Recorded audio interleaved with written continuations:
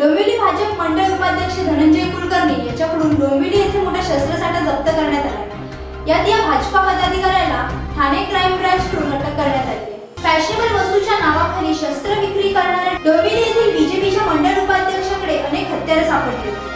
अनेक दिवसापासून भाजपाचा हा पदाधिकारी फॅशनेबल वस्तूच्या नावाखाली धनंजय कुलकर्णी हा शस्त्र विक्रीचा गोरख धंदा करत होता.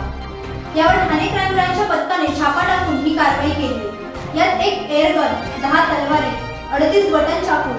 बासष्ट स्टील व पितळी धातूचे फायटर्स पंचवीस धारदार चॉपर्स तीन कुराडी नऊ मुक्त्या एक कोयता पाच सुरे व नऊ कुकरी